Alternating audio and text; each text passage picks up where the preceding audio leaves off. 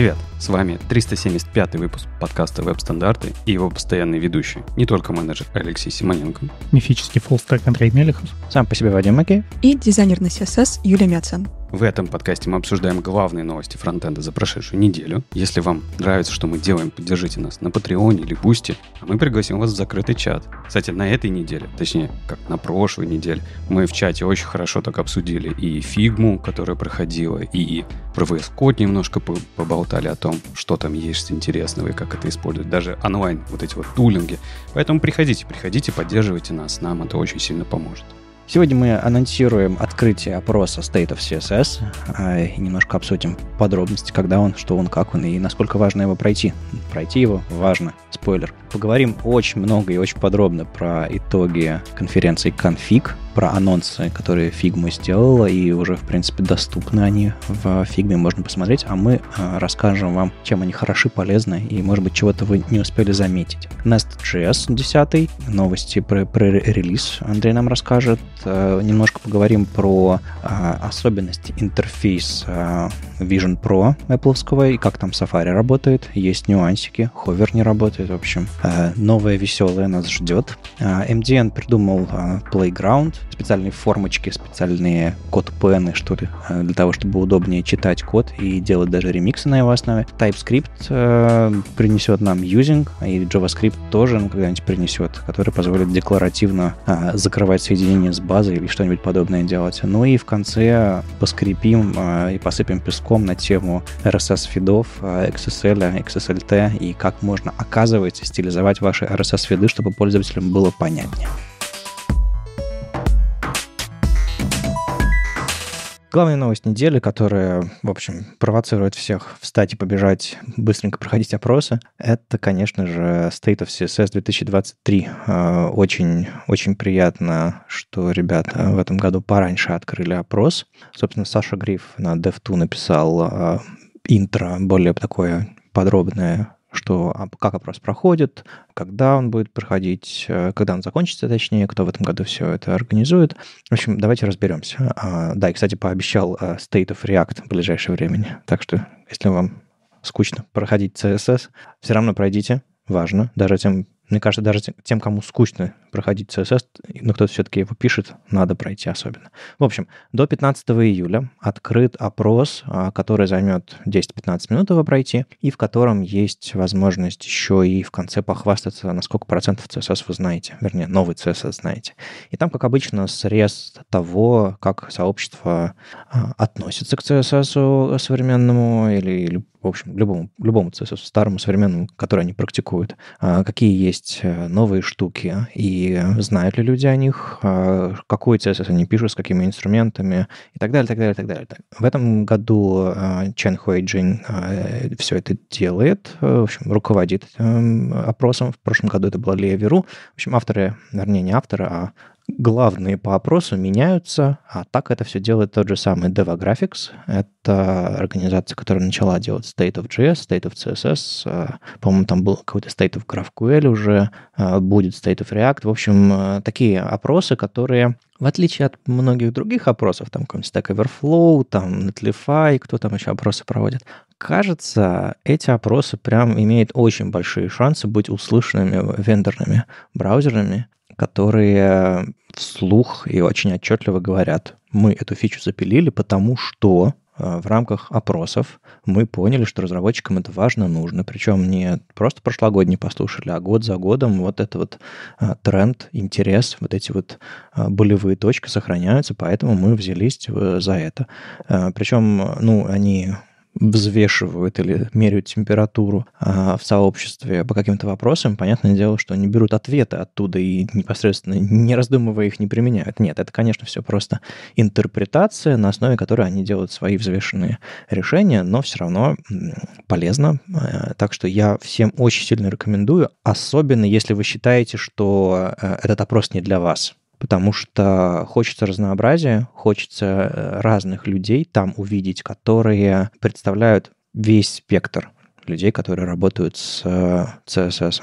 Поэтому, если вы раньше не проходили, особенно пройдите. Если вы просто, не знаю, там, рисуете на CSS, играете с ним, только учитесь ему, или, не знаю, уже 10 лет как пишете JavaScript, и CSS только трогаете левой лапкой, все равно зайдите и пройдите. Мне кажется, чем больше людей обратят на внимание на этот опрос и выразят свое мнение, тем более полной будет картина, и тем более адекватные будут а, развитие языка, платформы, инструментов вокруг. А, мне кажется, это все отличная возможность повлиять на это, даже если вы не, не знаю, не репортите баги в браузере и как-то не общаетесь с, с авторами браузеров о спецификации и всем остальном. Это один из самых простых способов а, сказать свое слово. Ну, я бы, наверное, еще только добавил, что ты со стороны браузеров зашел, но это и для сообщества срез очень полезный, для того, чтобы его проанализировать после. То есть именно э, куда мы идем, что у нас хорошо э, вкатывается, что не очень хорошо вкатывается. Поэтому да, тут очень важно, чтобы и э, совершенно разные уровни разработчиков заходили, да, и ребята, которые уже все знают, там, знаешь, вот где-то уже бегут впереди паровозы, и ребята, которые только начинают, и посерединке ребята, которые просто, знаешь, пилят свои кнопочки, их, в принципе, все устраивает, и им хотелось бы, чтобы э, ничего особо не менялось. Вот, потому что там э, опросы довольно простые, там показывается просто какой-нибудь кусочек кода и спрашивают, вы так делаете? Типа, хотите так делать? Э, слышали, но не использовали? Э, знаете, но еще не использовали и хотите использовать, точнее, уже используете, да? И просто пробежаться по вопросам. Там уходит где-то минут 10-15, ну, если вчитываться, там 20-30, вот, и всегда можно остановиться на полпути, э, закончить позже, поэтому просто пройдите по кусочкам, и нормально. По-моему, до 15 июля все это будет дело проходить, и время есть. Да, до 15 июля. И в этом году, кстати, добавилась новая фича, особенно если у вас есть аккаунт, если вы не анонимно проходите на девографике, а, вы можете себе сохранить отдельные а, вопросы. Ну, то есть вы на какой-то вопрос ответили, типа, знаете ли вы, что такое сабгриды, или знаете ли вы, какой вы, что такое OKCLC, Оклыч, короче, Оклыч, как Никита говорит. И э, ответили «не знаю», и двинулись дальше, и забыли. Но было бы классно не просто ответить «не знаю», а ответить «не знаю», а потом разобраться. И, по сути, это такие закладочки. То есть можно вопросы класть в закладки и потом к ним возвращаться и делать себе маленький такой э, план, чем бы заняться, что бы изучить, чтобы в следующем опросе не ударить в грязь лицом и, ну и, в принципе, узнать что-то новое. То есть ты превращаешь его в такую матрицу компетенций? В каком-то смысле, да. Да, так проверить, насколько ты современный CSS понимаешь, где у тебя твои пробелы. Но я уже видел звезды, звезд э, Твиттера и всяких там соцсетей, э, которые возвращались с опроса там, с, с рейтингом 80, 90, некоторые даже 100%. Э, мне кажется, тоже будет интересно узнать, э, какой уровень э, у наших слушателей, кстати, потому что мы же постоянно про всякие новинки говорим. Э, мне интересно узнать, сколько у ведущих будет. Надо будет убедиться, что все ведущие прошли. Сам, сам-то прошел, Вадим, уже? Нет, нет, конечно. И мое дело рассказать. Я прямо сейчас прохожу.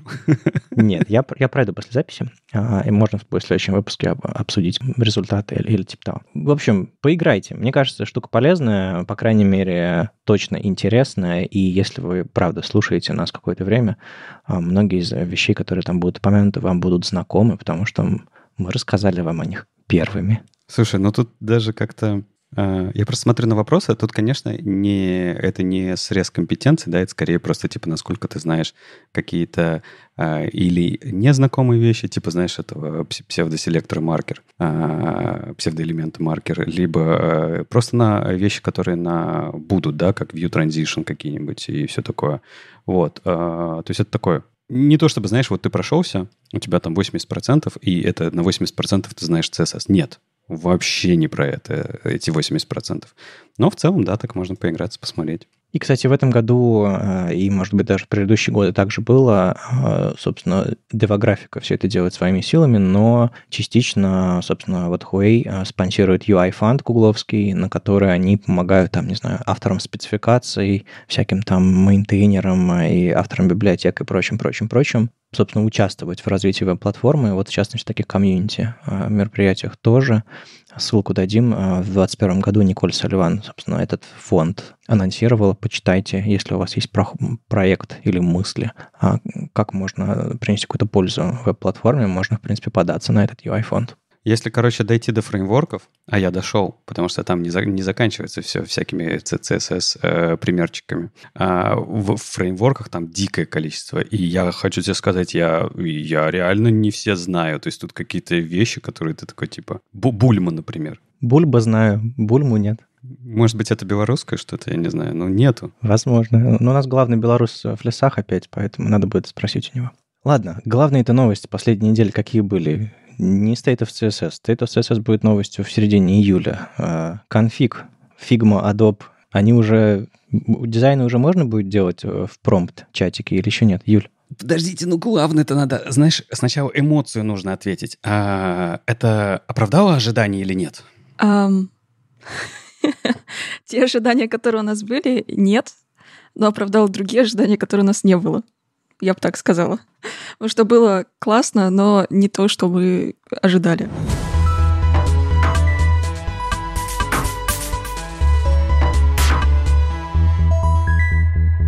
А, да, был конфиг на этой неделе два дня. Шумел просто весь твиттер до сих пор шумит, потому что они запустили еще несколько хэштегов. Каждый теперь просто отмечается, кто был на конфиге. Все выкладывают, как они отмечали автопатии и все такое. Очень было круто и весело. Я немножко почувствовала это фобу, ощущение, когда ты чего-то пропускаешь в своей жизни.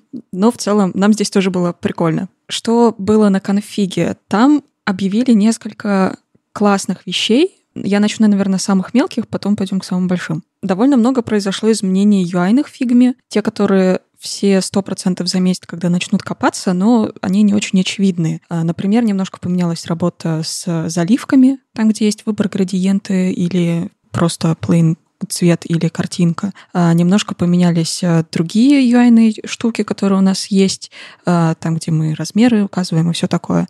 Почему оно поменялось? Потому что теперь у нас есть переменные в фигме. Раньше у нас тоже были переменные, как мы их называли переменные, но на самом деле, если бы кто-нибудь читал э, заголовки фигмы и подписи, которые в интерфейсе используются, это были не переменные, это были стили. И э, их и надо было воспринимать как стили, а не как переменные, как мы это делали. Э, собственно, стили отличаются тем, чем что это набор каких-то штук, каких-то атрибутов для объектов, которые мы могли использовать. Они вообще никак не прикладывались в переменные, их, э, кроме как цвета, ничего нельзя было нормально вытащить где-то использовать в другом месте. А теперь у нас есть переменные, э, так как они, наверное, и должны восприниматься. То есть это маленькие какие-то сущности, которые мы можем использовать. Там цвета, размеры, э, просто единицы размерности какие-то, в смысле числовые значения. А также и бинарные значения появились, строки даже текстовые, как переменные. И все это можно выгружать в JSON. Ну, оно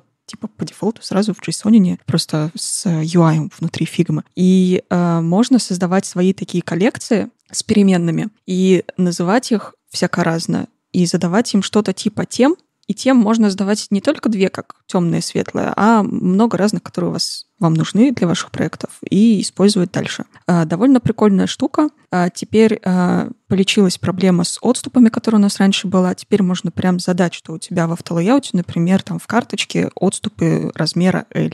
И они такими и будут. И без разницы, какое там значение на самом деле есть. Потому что в каждого, каждое текстовое поле, которое принимает значение число, можно подставить теперь значение переменной и использовать его. Также, конечно же, цвета появились, э, которые и раньше были, но теперь это вот настоящие переменные, а не стили. К сожалению, так и не подвезли текстовых переменных. У нас все еще для текста есть только стили, переменных э, не завезли, и для градиентов тоже нельзя использовать переменные. К сожалению, не знаю, с чем это связано, видимо, это так сложно было сделать. Можно я уточню, а ты говоришь про текстовые переменные. Э, что ты имеешь в виду? Потому что сам сам тип э, переменных э, текстовый-то он есть, да, а ты что-то другое имеешь в виду? А, да, есть э, Сейчас есть стиль, и ты можешь сохранить стиль как э, это конкретный шрифт, конкретное начертание, конкретный размер, высота строки и все остальные атрибуты. Ты не можешь их по отдельности э, как-то сохранить. Например, что у тебя шрифты используются там два, например, моно и обычный санс, который у тебя есть, ты их не можешь сохранить в переменную. Э, не можешь также сохранить э, размерности, которые у тебя используются, потому что часто бывает такое, что у тебя один и тот же размер текста, но бывает жирный, бывает италик, бывает еще какой-то, и для этого нужно создавать а, вот это все комбинации стилей, которые есть. К сожалению, эта штука так и не починилась, потому что не привезли переменные вот текстовые мелкие атрибуты. С этим пока что придется дальше жить. А, но привезли строки,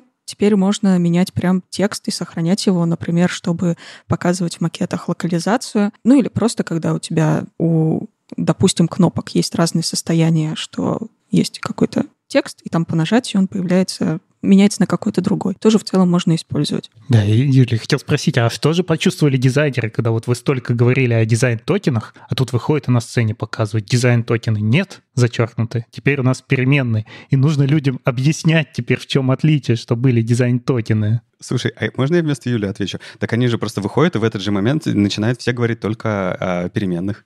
Разве нет? Такие, ну типа, все, говорим про перемены, ребят, переобуваемся, все, все нормально. Но переменные — это же другое, потому что дизайн-токены, они у нас прорастали внутрь CSS, как переменные CSS, а вот эти variables — это большее гораздо. Мы же не можем туда строки вот так закидывать, вот они там играются, показывают с языками, с размерами, еще что-то, но это другая сущность. Я не слышала, чтобы дизайнеры как-то сильно переживали, что у них теперь вообще полностью поменялась картина мира, но все просто делают вид, как будто переназвали. Я слышал другую версию, что переменные — это сущность в рамках фигмы, а токены — это сабсет переменных. То есть все переменные внутри фигмы, они используются для разных целей. Но если тебе нужно сделать из них токены, ты можешь это сделать. То есть это две разные системы, и переменные больше, надсущность. А, по крайней мере, вот такие схемки я видел а, в интернете. А, это все-таки разного типа вещи. То есть, насколько я понимаю, вот чисто вот в идеологии дизайн токенов в фигме было бы тесно. Ну, только Андрей, я тебе... Мы не, не, не начали еще говорить про разработческий режим, да? Но на самом деле в разработческом режиме все переменные, про которые мы говорим как переменные новые, не как дизайн-токены, они все-таки экспортятся как э, кастомные свойства, то есть ты задаешь цвета, они у тебя в CSS-коде, который ты получаешь, они э, выглядят как э, кастомное свойство с этим цветом, и оно используется в назначении в твоем CSS-коде. То есть в целом оно так и работает. Ну, я просто переживаю. Людям дизайнеры рассказывали дизайн-токены, дизайн-токены, а теперь оп, и тебе на сцене так зачеркивают и говорят, нет никаких больше дизайн-токенов. Кто-то же с этим придет к своим дизайнерам и скажет, ну как так? Вы нас так просили-просили, а теперь сами переименовали. Ну, с этим надо, мне кажется, немножко пожить просто какое-то время, потому что на э, конфиге объявили, но, кажется, еще никто особо не начал использовать это в продакшене в своих реальных проектах. Поэтому, когда начнут, тогда, скорее всего, э, появятся и доклады, и какая-то активность в соцсетях, где начнут людям объяснять. Но пока что все просто такие, ну, классно, нас э, появилась больше мест, где мы можем использовать переменные, а как их называют в целом без разницы. Если ты не против, я бы добавил тут про а, сами переменные, потому что что у них еще-то добавилось, помимо того, что ты можешь назначать их, ну, придумать переменные, названия, все типы, про которые ты проговорил. Скопинг — это же очень тоже хорошая штука, история, то есть для каждого типа переменной, а, ну, не для каждого, да, например, для цвета и для а, какого-то размера, а, есть возможность задать, в, э, в каких объектах эта переменная может применяться. То есть это не то, что вы там, например, э, назначаете, я не знаю, красный цвет, и вы красный цвет вот в таком виде, как переменную, используете в любом своем объекте э, в фигме. Вы можете сказать, что э, эта переменная цветовая, она может использоваться только как фил для фрейма, либо как фил для шейпа, либо как фил для текста, для строка, и вы можете этот скоп обозначить конкретно для переменных. И что самое крутое — потому что в цветах это, наверное, в меньшей степени распространено, но в каких-то значениях э, вот, э, цифровых, да, вы можете использовать э, скопинг для того, чтобы, как, где определяете, что там, вот, например, эти числа, они идут только для того, чтобы управлять шириной и высотой, эти числа идут для управления гапом, эти числа идут для управления там э, э, как размером текста или для этого border, radius, да, по сути. Это тоже очень, очень такую хорошую гибкую систему тебе делает, и так как оно потом прорастает к тебе в твой код, это вообще идеально, мне кажется. Да, это как раз то, о чем я хотела рассказать дальше. Не, ничего страшного. Да, действительно, скоп классная штука. Единственное, нужно обращать внимание на то, что по дефолту каждая переменная со всеми галочками идет, и нужно дополнительно просто подумать, э, где это можно использовать. Но целом штука классная. Если э, не будут э, оставлять все галочки включенными, то будет очень классная штука. А можете на секунду, буквально на, на минутку а, объяснить мне, а, в чем прикол вот именно ограничения, что этот цвет может использоваться или этот размер может использоваться только где-то там? Семантика. Наконец-то в фигме появилась семантика. И они на самом деле в своих презентациях везде это слово, это прям таким это сквозь все слайды проходило, что теперь мы больше идем к этому, потому что фигма по дефолту это просто набор шейпов с текстом, летающих в абсолюте. Теперь все-таки у всего появился смысл, и э, как мы и в работе, в коде используем, что у нас э, есть переменные, которые мы используем для чего-то, например, там, для скругления border радиусов, и мы не можем его использовать для того, чтобы это как-то обозначить, например, расстояние между блоками, ну, то есть как space. Теперь в фигме можно сразу указать, что для чего используется, и оно так и уйдет дальше ну, то есть дело в том, что если ты где-то используешь э, 20 пикселей и, и в другом месте используешь 20 пикселей, э, тебе за, захочется разделять если это, допустим, одно из них это гэп между блоками, а другое размер шрифта, если ты захочешь поменять размер шрифта, то не хочешь, чтобы гэп менялся. Но цифры там одинаковые, и ты раньше мог использовать вот какую-то там константу ну, в принципе, ты даже и не мог раньше ведь использовать никакую константу.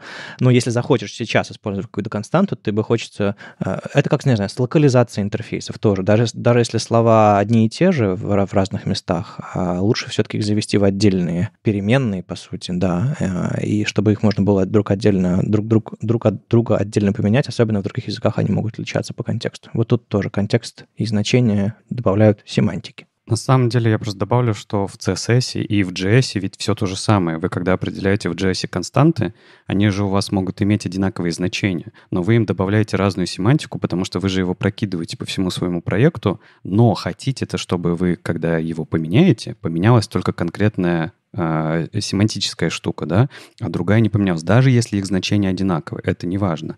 И на самом деле то, что еще не сделано, это будет только в будущем, да, они еще э, дают тебе возможность управлять синтаксисом кода в переменной, которую ты заводишь. То есть ты можешь определять, как это в CSS должно уходить именно для конкретной переменной. Это пока что coming soon, но вот они обещают потом это показать. Да, в этот момент очень хочется сказать, что кажется, white paper все-таки захватил весь мир, если кто-то помнит, что такое был, потому что мы как раз топили за семантику во всем и в переменных в том числе, ну и в первую очередь вообще. Еще из мелких вещей, но очень важных, э, что появилось э, автолайауты. Теперь есть переход на другую строку. Можно задать э, ширину, либо привязать к размеру экрана, и что влазит, то влазит, что не влазит, будет переходить на другую сторону, то, чего у нас очень давно не было. Юля, ну у меня к тебе вопрос. В прошлый раз, ну, в прошлом выпуске я сказал, что типа, ну и автолайаут доработать. Ты сказал, так а что, там же все, все нормально. Так все-таки надо было доработать? Нет, я не так сказала. Не так. А, я сказала, что это слишком мелкая штука, чтобы на конфиге показывать как э, фичу. А оказывается, все-таки ребята взяли и показали, потому что фича, ну, действительно очень важная, но она достаточно мелкая. С автолоятом на самом деле больше ничего не поменялось. А, просто добавили переход на другую строку, то, чего не хватало до полноценных флексов, я бы сказала. Это просто для, для адекватных интерфейсов, какие там флексы, не флексы. Ну, правда, если у нас есть автолейаут, который умеет э, организовывать типа потока на странице уже, когда ты коробочка, коробочкой объединяешь в новую там раскладку какую-то. Э, если они не могут переноситься автоматически, это, это бред какой-то. Э, этого прям очень сильно не хватало. А это не связано с тем, что вот теперь у нас есть переменные, и появляется эта динамика, для которой это все и понадобилось. Оно и до переменных надо было очень прям сильно. Когда ты условно ресайзишь мобильный layout в, та в таблетку, чтобы руками не переставлять блоки обратно или там не менять параметры, ну, то есть, да, адаптация как раз. Ну, даже не с адаптацией, просто когда у тебя набор карточек э, в интерфейсе есть.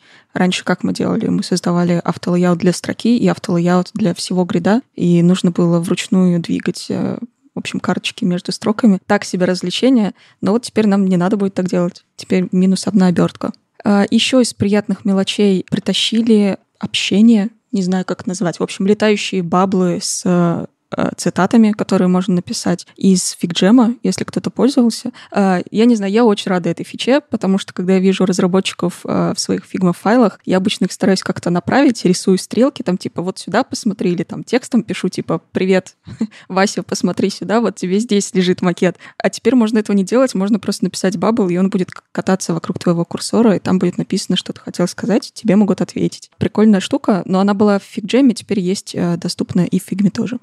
Дизайнер, с которым я работал, просто делали служебные артборды маленькие, на которых рисовали то, что они хотели сказать. Но они выглядели совсем по-другому, чем макет. Соответственно, типа, ты сразу понимал, что это обращение дизайнера к тебе или, по сути, обложка группы ар- артбордов ну, такое служебное что-то. А если для этого появляется специальная отдельная фича, то классно. Ты не, не перепутаешь, не, не попытаешься сверстать эту штуку. Еще одна штука, которая сейчас доступна только для платных аккаунтов, а, это прототипы. Теперь они стали более умными. Теперь там появились всякие условия, что должно происходить по какому жесту, по клику. А, можно менять э, также текст ну, по каким-то действиям, там, либо по драг-н-дропу, по свайпу, по тапу куда-нибудь. Все это теперь есть, и там же, собственно, есть и темы, все, что мы хотели, все теперь в прототипах есть, но потрогать их можно только в платных аккаунтах. Бесплатных сейчас, э, к сожалению, нельзя. Ну, скорее всего, и никогда нельзя будет.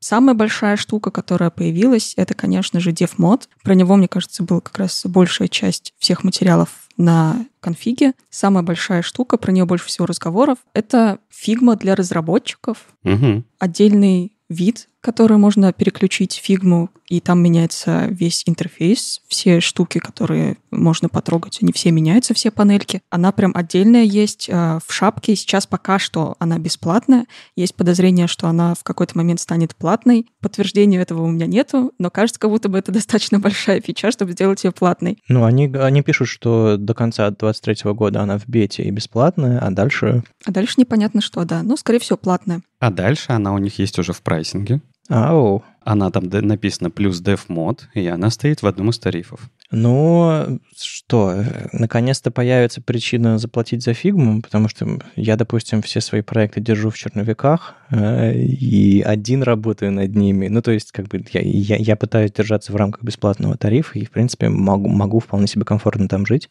особенно когда не взаимодействуешь с кем-то особо. А для себя это что ты делаешь. А, а вот dev режим, конечно, выглядит интересно, интересно.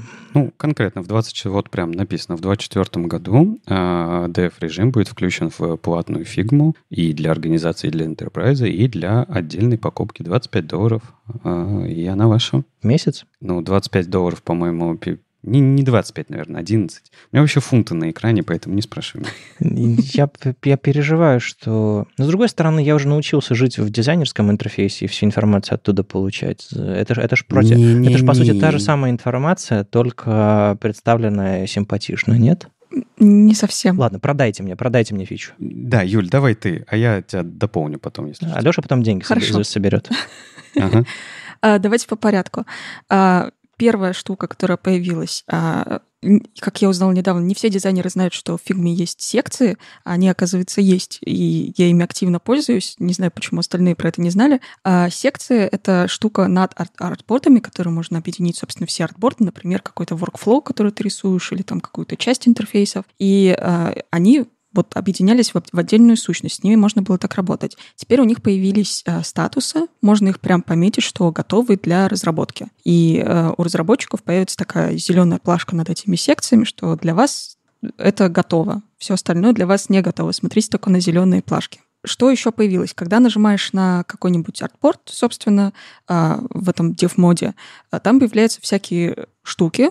Раньше было что-то похожее, то есть э, вы выбор платформы то, на чем ты пишешь. Ты пишешь под мобилки, под какие именно мобилки, ты пишешь под веб, э, и что ты используешь, например, React, Tailwind или еще что-то. Или просто plain CSS. Раньше тоже такая штука была, но она была супер простенькая и без э, фреймворков. Там был выбор между CSS, чем-то для андроида и, собственно, Swift. Теперь там как-то побогаче стало. Да, я добавлю, это просто расширяем, расширяемое все плагинами. Ты, в принципе, можешь с помощью плагинов настроить, в какого типа проект тебе нужно экспортить всякие разные значения. И там очень богатый набор, то есть ты можешь, я не знаю, для JSX в определенной ситуации, э, не знаю, не знаю, что ты там используешь, именно туда это забрать, или для React Native, или еще чего-то. Более того, когда ты выбираешь это, ты выбираешь у себя настройку. Для CSS пока маловато, но кажется, что могли бы побольше. Ты выбираешь э, юнит размерный, с помощью которого ты хочешь забирать значения. Это либо пиксели, либо ремы. И когда ты выбираешь ремы, ты можешь еще установить базовый root параметр, для, от которого будут все ремы считаться. И так ты будешь забирать этот код к себе. Черт, они украли главный аргумент, э, те, кто пиксели любит, что я с фигмы беру все в пикселях. А тут теперь, тут уже теперь, да... Жалко маловато, да? Хочется расширить эту всю идею, но есть место для расширений. Да не, ну нормально, нормально. Мне кажется, они под основной workflow подстроились. Но у них пока все равно это все в бете, поэтому тут довольно сыровато, есть еще куда расти. Но действительно, там сейчас, когда ты заходишь в DevMod, тебя спрашивают, какие ты хочешь плагины, и там тебе предлагают штук 10, наверное, видимо, самых популярных, на, на их взгляд. А, что дальше? А, интеграция во всякие штуки. Например, в VS Code, в Slack, в Teams, еще куда-нибудь тоже появится.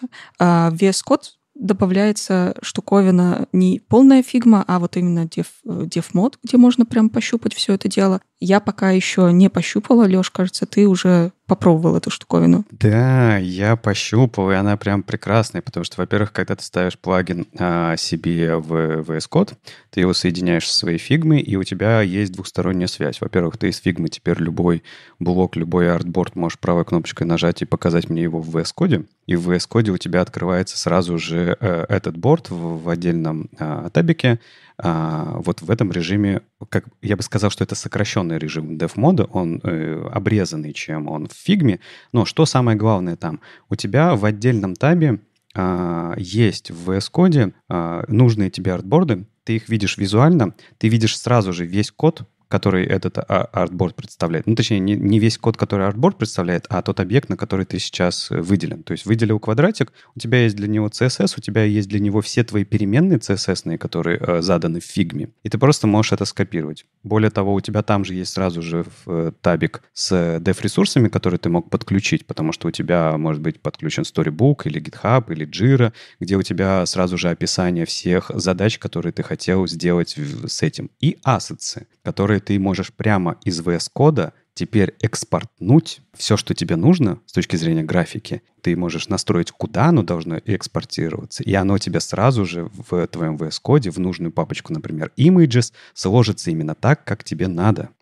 И вот с этими assets'ами есть классная штука, потому что раньше и так можно было экспортировать, и разработчики это делали. Но, к сожалению, не все разработчики знают, как именно устроена фигма в плане слоев, компонентов вот этого всего. И частенько я сталкивалась с такой проблемой, что разработчик тапал не в группу, которая на самом деле компонент, у которой есть размеры заданные для этой иконки, а, например, в сам shape. У него получалось значение неправильное, и иконка, соответственно, экспортировалась фиг пойми как. Теперь же, соответственно, разработчикам просто не надо ничего никуда кликать, ни на какие шейпы, они просто сами показываются в этой э, плашке, которая для дев-мода находится. Просто нажимаешь на кнопочку «Скачать», и не нужно никуда тапать, никаких шейпов выбирать, и все сразу хорошо работает. Это прям классная штука. Интересно, что в этот момент почувствовали в компании JetBrains? А почему? Что надо успевать. Смогут ли они к себе это добавить? Как-то, знаешь, Андрей, что у них еще много работы. Вот что они почувствовали.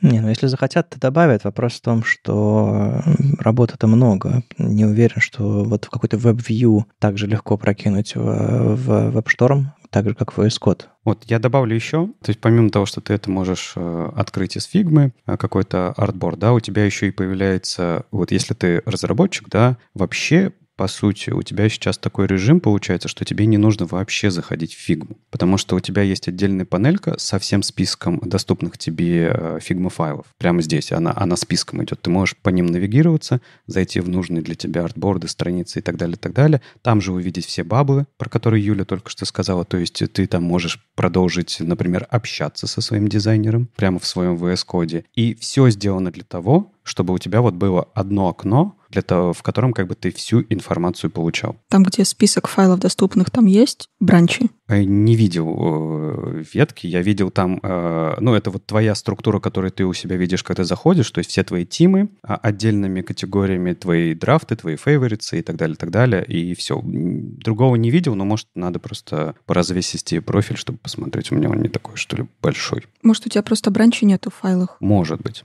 Ну и вообще, честно говоря, вот Леша говорит, ну, всего одно окно, и тебе нужно. Нет, теперь, теперь нужно три панели в твоем VS код, дизайн и, э, собственно, рядом еще сплит. В сплит нужно браузер поставить, чтобы результат смотреть. Это как и мне нужны мониторы. Э, ультравайды какие-то нужны. Ну, конечно. Ну, ты же два монитора. Разработчики же всегда себе там пару мониторов. Вот это туда-сюда, все. А из VS Code же мультиоконность, по-моему, нельзя сделать нормальную. Ну, зато ты можешь его... Раз, это, ну, ладно, не два монитора. Давай ультравайт монитор, да. Делаем гигантскую ширину и в панельке. Ну, я имею в виду, что вот э, надо VS Code добавить фичу, чтобы можно было вкладку вытащить в отдельное окно, чтобы она оставалась частью проекта, по-моему, потому что, по-моему, сейчас нельзя. Ну, надо проверить. Ну, вообще ты прав, по-моему, и пока нельзя. Ну, слушай, доработают, уже, уже хорошо. Потому что если туда фигму встроили, и это на самом деле полезно, а не какой-то gimmick, э, ну да, надо будет э, экран пошире и VS Code поумнее. Что еще появилось? Действительно, появился еще список переменных, которые используются в этом артборде или в этой группе, которую ты выбрал. Там же можно посмотреть э, вот эту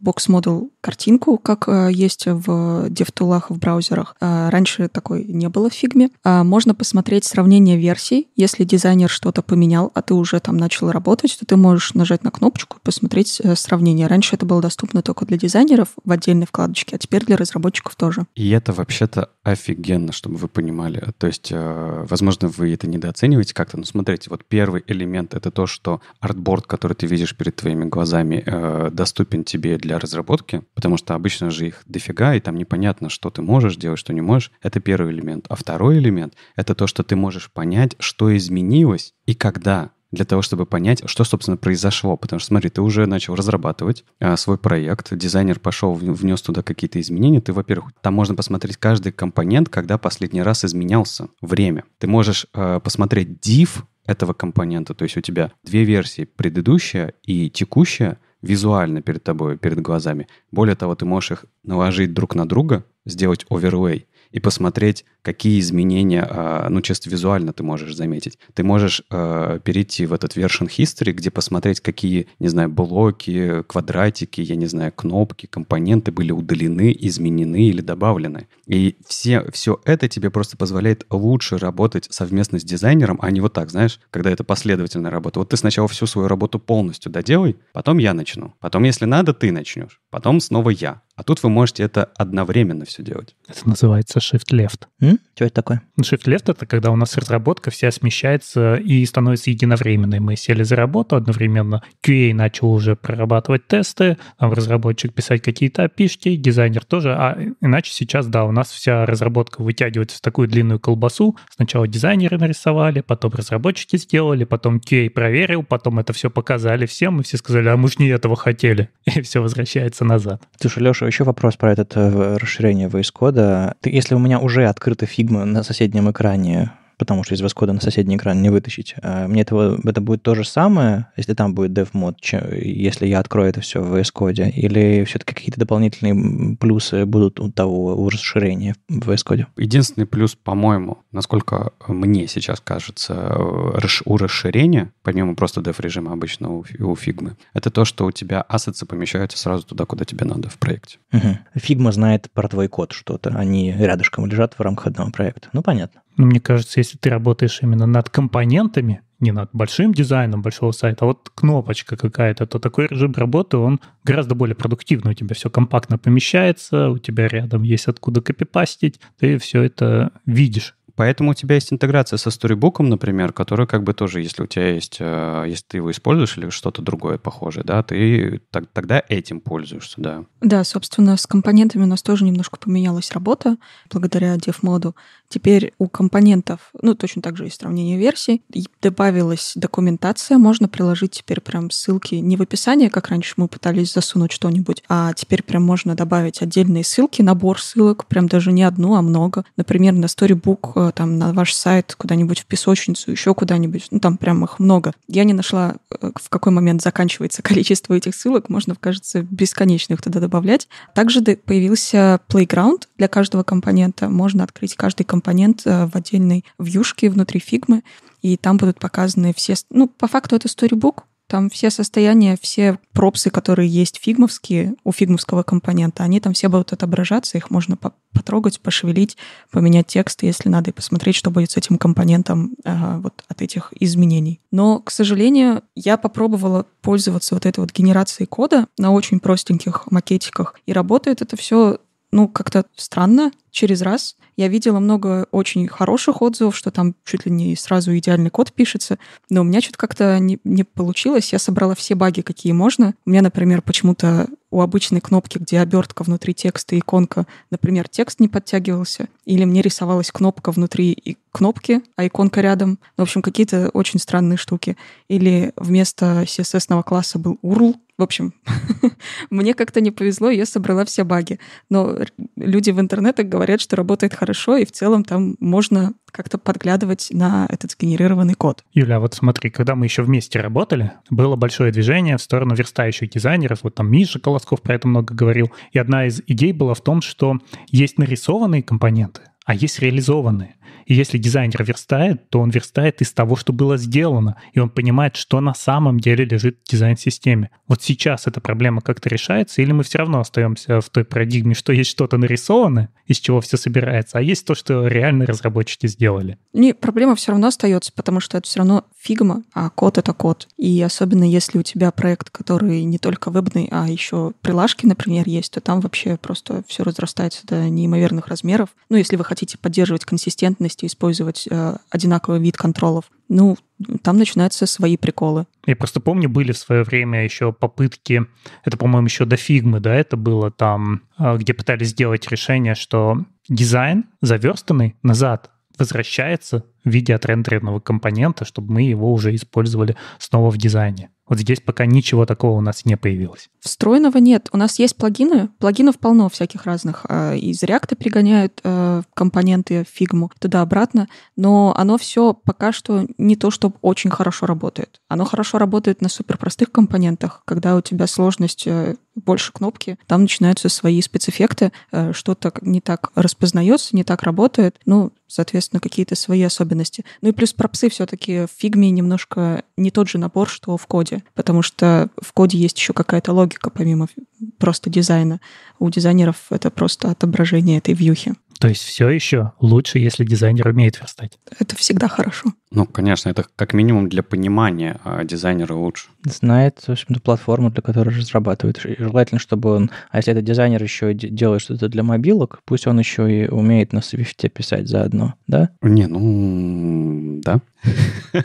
Ну или, по крайней мере, может открыть этот Xcode и натаскать и вообще открыть в эмуляторе. Ну, то есть не обязательно прям писать алгоритмы на Swift, но знать, как там все устроено внутри именно системы Xcode или там Android Studio, наверное, да. Ну, как минимум понимать, какой там флоу, что он не такой же, как в браузере, что компоненты там не так немножко отображаются mm-hmm. и работает все это не так. Конечно, это полезно знать. Еще совсем маленькая штука, которая появилась э, вдобавок к этому div-моду, это поменялись настройки шаринга документов, и теперь можно разработчикам отправлять просто ссылку сразу на документ в div-моде и не пускать их в edit формат, в дизайнерский, э, что в целом меняет количество кликов, и можно сразу разработчикам видеть этот весь прекрасный интерфейс, пока пока что бесплатный, дальше посмотрим. Но вроде должна быть классная штука, потому что ну, я всегда стараюсь объяснять разработчикам, даже если они очень опытные, что, ребят, я работаю в ветке, ветка — это вот здесь вот кнопочка, нажми туда, там появится вся красота, которая тебе нужна. Или там вот здесь вот состояние edit, вот здесь состояние там, как было inspect раньше. Теперь это DevMod. Ну, то есть э, можно теперь ничего этого не пояснять, а сразу кидать э, DevMod, и там уже вся красота видна по умолчанию всем разработчикам. Слушай, Юль, если уходить немножко от Dev Mode, потому что, ну, да, понятно, для нас это самая интересная тема, но плюс-минус мы разобрались, да, то есть очень много всего сделали для разработчиков, и даже э, ребята со сцены как раз говорили, что вообще у нас треть э, аудитории, которые пользуются Figma, это разработчики. А почему мы для них ничего не делаем? А давайте что-то делать для них. Вот они и сделали. Но это же не только эти были анонсы, да? У меня к тебе, знаешь, какой вопрос? Фигма тут еще сказала, что они купили диаграмм, да, это отдельный инструмент для дизайнеров, который как бы типа совсем из future, да, вроде как фигма у нас из future, но это как бы из future, видимо. А мы его обсуждали в каком-то из зимних у диаграммы есть Magician. Мы как раз вот э, в плагин Magician в фигме обсуждали как-то раз. Во, и что, как ты думаешь, что значит для фигмы то, что они купили диаграмм, как это дальше будет? Или это как раз-таки тот самый AI, про который фигма вроде как сама не сказала ничего, но за счет покупки-то вроде как у них теперь и AI есть? Мне кажется, все так и есть. Но сейчас все компании судорожно ищут, куда можно приложить AI, а фигма просто взяла самый популярный плагин, который есть, и он уже зарабатывает какие-то деньги. Я сомневаюсь, что он уже на окупаемость вышел, но он какие-то деньги зарабатывает. И они просто купили самый популярный плагин, всю компанию, чего бы нет. В целом все правильно сделали. Но все еще у них нету Firefly от Adobe, поэтому надо же им как-то компенсировать все это. Да, кстати, тут про Adobe-то. Мы же в прошлом выпуске говорили о том, что, ну, там, думали, как вот это слияние все должно, в чем оно должно проявиться, там, спекулировали на разные темы. Нам, правильно, Никита подсказывает в, в он, по сути, вопрос нам задает, да, но на самом деле он нам подсказывает, что сделка-то еще не закрыта между Figma и Adobe, поэтому никаких э, слияний, интеграций-то вроде как не должно быть. А более того, на этой неделе, прям, знаете, перед тем, как конфиг прошел, за день э, Еврокомиссия сказала, слушайте, а что-то какая-то странная сделка. Может быть, нам давайте разберемся с ней. Может быть, не, нельзя так делать. Может быть, тут какие-то нарушения антимонопольного законодательства. И, может быть, это плохо, плохо от этого всем будет. Поэтому тут еще и разбираться собираются по поводу этой сделки.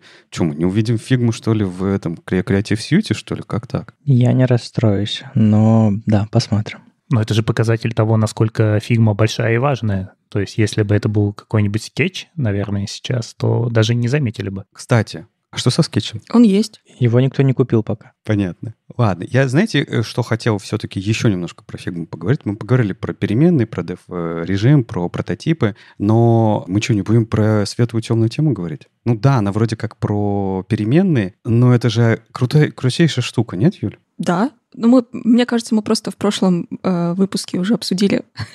Заранее, еще не зная. Наши предсказания просто сбылись.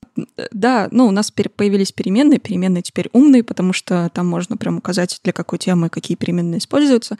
И, э, соответственно, у артбордов тоже можно указать, что за тема используется, и перенося компоненты из э, артборда в артборд, они сами понимают, в каком контексте они находятся, и меняют свой внешний вид. А штука классная. Как в прошлый раз мы обсуждали, сейчас есть проблема с тем, что нужно держать все компоненты два раза минимум, если у вас светлые, темные. Если у вас другие темы есть, то вот сколько тем, столько вот а, вариаций одного и того же компонента нужно иметь. А, а теперь не надо. У вас есть один компонент, и ваши таблицы с с, с переменными, которые у вас есть, просто указываете, что у вас есть э, две темы и какие цвета меняются. И, и все, и оно само работает. Супер. Блин, и очень круто, что э, тебе и правда ничего не нужно дублировать. Я, я, если честно, а это что-то новое было или это у них раньше было, что ты мог на артборд как раз-таки вот эти вот условия задать, что ты перетягиваешь туда, и оно перекрашивается. Вот то, что вот это вот только сейчас появилось. Да, раньше вообще ничего не было. Но вот сейчас и для секции добавили, и для артбордов. И, собственно, они на самом деле вот этим вот изменением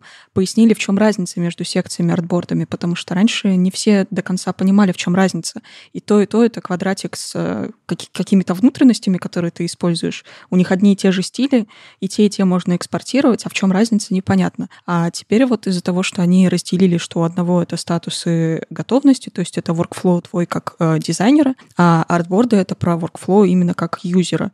И они полностью разделили эти штуки, у них появились свои проперти. Звучит серьезно. Ну, у них было классное демо, когда они показывали вот наше приложение на iPhone, а теперь посмотрим его в темной теме, да еще и на немецком с длинными словами. А теперь рядом еще положим, ну, его на iPad, например, в светлой теме, и тогда мы, наверное, не забудем о том, что у нас есть вот эти переменные, которые для разных случаев надо использовать. Но что самое крутое, мне кажется, в этом во всем, это вот ты вот так разложил себе все, да, разные темы в разных условиях э, и так далее, так далее. Смотришь на это целиком, а потом знаете, что делаете? Открываешь переменные и начинаешь немножко изменять либо цвета, либо размер и смотреть, как твой дизайн реагирует во всем этом многообразии условий. Это же просто офигенно. То есть тебе ничего не нужно для этого делать. Ты просто вот, не знаю, 10 пикселей такой типа, не, мне кажется, с 12 пикселями отступов будет лучше. И ты такой двигаешь их и смотришь одновременно на все состояния своего интерфейса. А в, а в каком-то месте полез размер шрифта из-за этого. Ой, и ты сразу увидел. И все равно все нужно руками переделывать.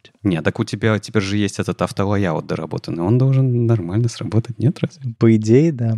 Ну, хорошо, э, да, с конфигом разобрались, написали, но конфиги мы пишем не только в таких системах, еще и для фреймворков они нам нужны. Например, для Nest, да? Что изменилось в конфиге Nest, э, Андрей, в десятом?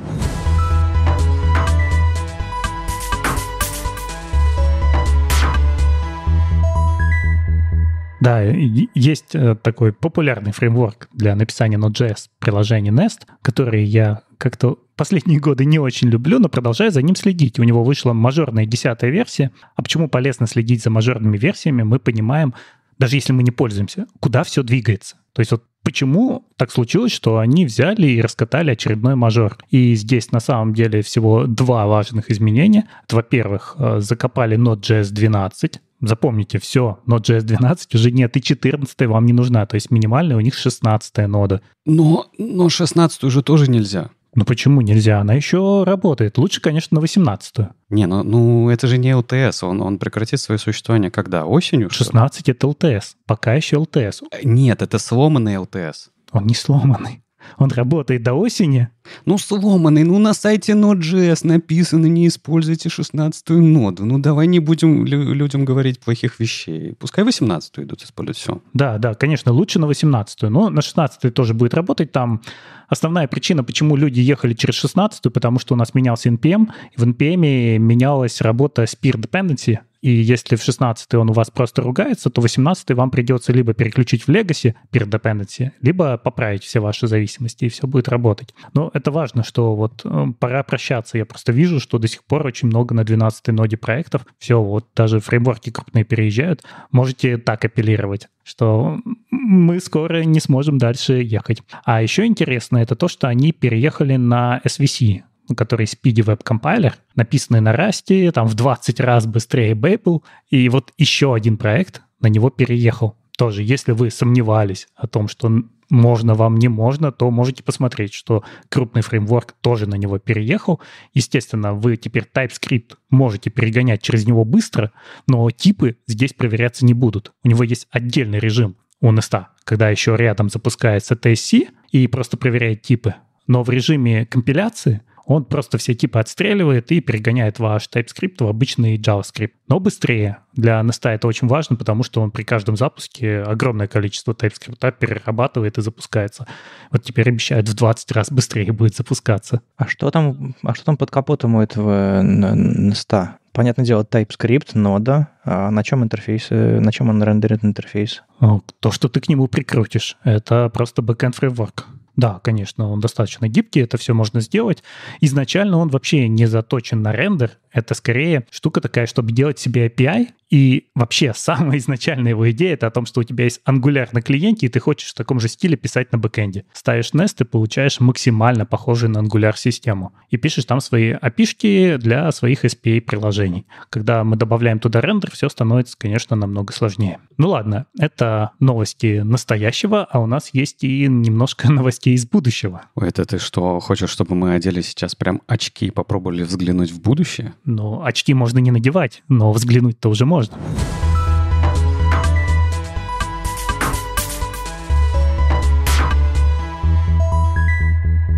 Да, и правда. Я, на самом деле, на этой неделе э, такой увидел новость о том, что SDK, э, ну, в, приехала вторая бетка Xcode э, нового. Вместе с ней э, привезли SDK для Vision Pro в первой бетке его не было. Вот. И, по сути, у нас есть возможность сейчас посмотреть, ну, если мы говорим про веб, да, у нас есть возможность э, через SDK Vision Pro пооткрывать Safari и посмотреть, как наши сайтики э, живут, реагируют, э, как оно все работает. Я вот зашел, понажимал на тренажерчики, там и правда клавиатура смешная э, вылезает, такая немножко оляпистая пока что, но я думаю, это все дело допилят.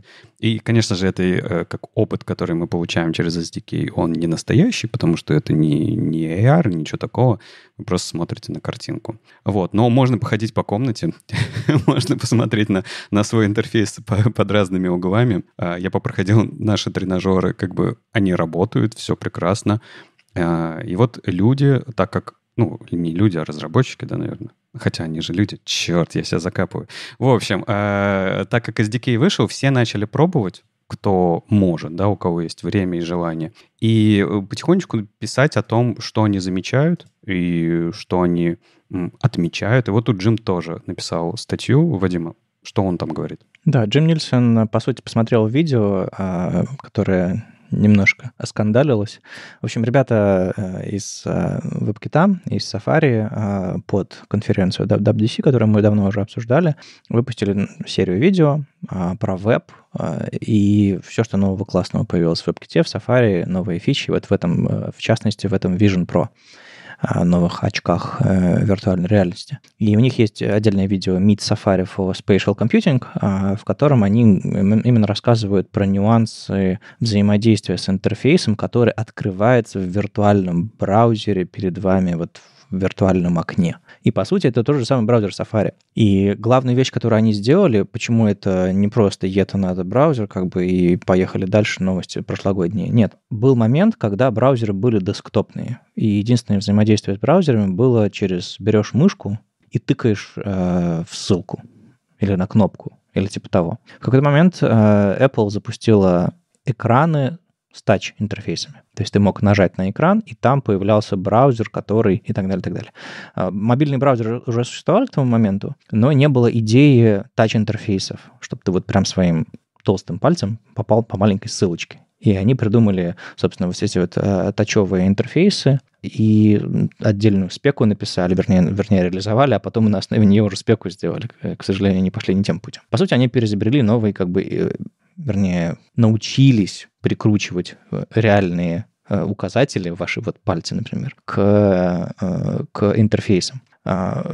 Тач-спека, на самом деле, потихонечку уже уходит в прошлое. Ее место заняла спека Point Events. И вот, когда пришло время изобретать новый интерфейс, который э, надевается на глаза и реагирует не на движение ваших пальцев, а на движение ваших глаз, они используют Point Events и, собственно, вот переизобрели э, новую, новую, новую реальность, новые способы взаимодействия. А главный вообще нюанс всего этого интерфейса состоит в том, что вы э, вместо курсора используете ваши глаза. Вы просто смотрите на что-то. И на самом деле, если вы, не знаю, замечали ли вы это или не замечали, если не замечали, попробуйте, вы если два человека стоят на каком-то расстоянии друг от друга, когда они друг друга видят и понимают, вы можете очень точно сказать, куда этот человек смотрит. То есть он смотрит на ваши ноги, на ваше лицо, на левую, правую часть. То есть мы очень четко умеем считывать направление взгляда. И вот это вот мы шутили там, по-моему, с Юлей на конференции э, недавно в Амстердаме, что люди смотрят на твой бейдж, и ты сразу понимаешь, что они смотрят на тебе в лицо, а пытаются вспомнить твое имя. То есть они смотрят в район твоего живота куда-то. Это тоже очень за- за- заметная штука. Так вот, э, Apple тоже умеет считывать направление вашего взгляда и в зависимости от этого подсвечивать какие-то элементы. То есть, по сути, у вас появляется встроенный в операционную систему ховер, очень похоже на то, э, который происходит в интерфейсе iPad прямо сейчас, если к нему подключить мышку. Вы наводите,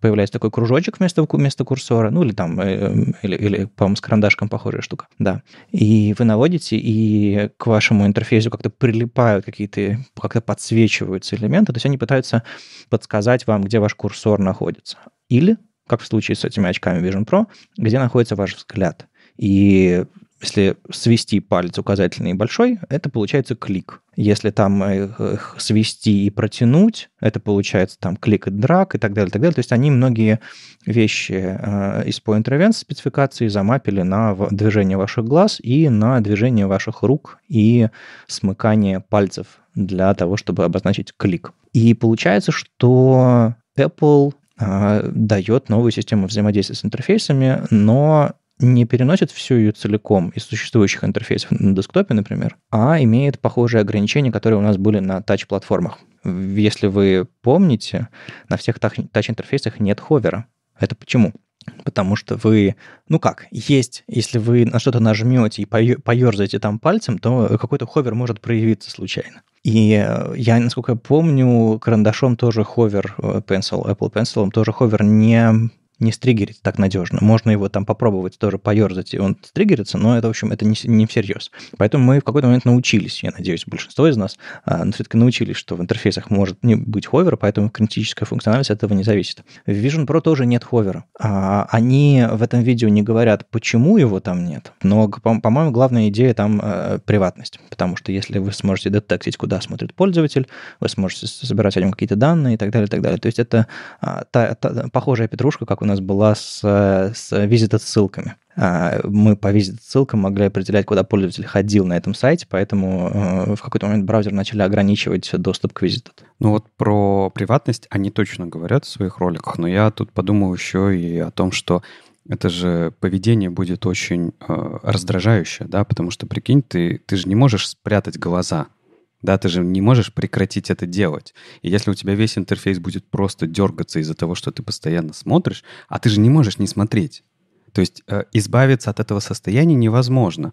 Поэтому, мне кажется, тут э, приватность это в первую очередь, да, но и сам вот это вот э, user experience, да, очень сильно будет ломать, если у тебя будет все, что, все, куда бы ты ни смотрел, будет дрыгаться. Поэтому они туда очень много эм, ума пытаются добавить, да, чтобы вот точно распознать элемент, в который ты хочешь, с которым ты хочешь в, в, произвести какие-то действия. Ну да, то есть получается, что не просто как на touch е, если сложно поерзать, то hover может стриггериться. Они, в принципе, на браузере Vision Pro hover селектор срабатывать не будет, псевдокласс. А, то есть вы не сможете получить hover, как, как, как если вы наведете мышкой. Есть вопрос, а, связанный с тем, что будет, когда вы подключите к э, тачпад или мышку к вашему Vision Pro по Bluetooth. Сработает там hover или нет, я не знаю, но прямо сейчас в эмуляторе, если вы мышкой крутите, это типа направление вашего взгляда, по сути. А клик — это сведение пальцев, ну, то есть обычный клик. А что будет на реальных устройствах, мы пока не знаем. Но э, есть вероятность, что ховеров в принципе на платформе нет. Да, мне тоже кажется, что настоящий опыт мы сможем ощутить и, соответственно, понять, что с этим делать.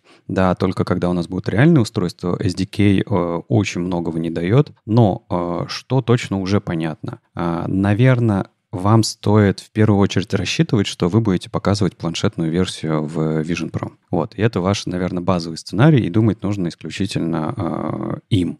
То есть это не десктопная версия, это не мобильная версия, это именно планшетная версия. Ну, размер экрана просто такой. Да, который заточен по тач. Нет, ты там можешь просто растягивать экран. Ну, до максимальной ширины, по-моему, 1200 пикселей или, или типа того. Ты можешь отойти и подойти. Это тоже тебе увеличивает как бы вроде как экран. Но имеется в виду, что если ты хочешь получить viewport нужной ширины, к сожалению, нет возможности растянуть viewport до 5000 пикселей. Там есть максимальная ширина, на которой она растягивается. Я не помню, какая она точно. Там больше 1000 пикселей, что-то 1200 или 1000, 1000 с чем-то. Да-да-да. Но тут самое важное — это про взаимодействие с интерфейсом. И взаимодействие интерфейса нужно понимать, что это а, тач взаимодействия, и элементы, с которыми, которые должны быть интерактивные, они должны быть с, с достаточной областью а, клика, по сути, да, то есть а, вот это в первую очередь нужно помнить. А как это вживую будет, угу. по-настоящему, мы поймем только, когда будут устройства, и только тогда мы сможем сделать настоящие выводы, как же готовить сайты и интерфейсы под это все. Сейчас только спекулируем. Ну и техническая составляющая, можно еще немножко копнуть в эту сторону, состоит в том, что Apple будет давать собственный ховер вашим элементам, то есть они на уровне Safari придумали способ, как подсвечивать интерактивные элементы. Как они определяют, что элементы интерактивные? Они, у них есть прям список, они об этом, об этом видео говорят, э, кнопки, ссылки, меню, не знаю, что это значит, э, меню, надо опять же пробовать. Э, элементы с подходящими ARIA-ролями. То есть если у вас будет div roll button, видимо, тоже сработает как интерактивный элемент, хотя, ну, не знаю, tab-индекс, наверное, тоже сработает. Ну, то есть это не супер техническое глубокое видео. Более того, они там совершают очень стрёмную ошибку, но об этом чуть позже. И поля форм, э, понятное дело, и элементы, которым вы зададите, внимание, курсор-поинтер. То есть, если у вас есть абсолютная глупость какая-то, э, типа дива, и вы дали курсор pointer, то она с точки зрения Apple будет интерактивна. Более того, кстати, на, на таче прямо сейчас, а, если вы на какой-то элемент нажмете, и он такой, вокруг него появится такая темная рамочка, на, на iOS, по крайней мере, а, еще а, позволяет сделать элемент интерактивным, добавить ему он-клик, обработчик событий, ну или просто послушать элемент э, обработчик событий клик. Это тоже срабатывает как, так же, как курсор-поинтер. Даже если там ничего не происходит, все равно Apple посчитает, вернее, WebKit посчитает, что это интерактивный элемент. Не знаю, насколько это справедливо с э, очками Vision Pro. Знаешь, мне кажется, что э, ну, эту глупость, как ты говоришь, э, они сознательно делают для того, чтобы была все-таки э, какая-то веб- веб-совместимость и, и текущих сайтов, текущих интерфейсов. Потому что ошибок-то на сайтах очень много,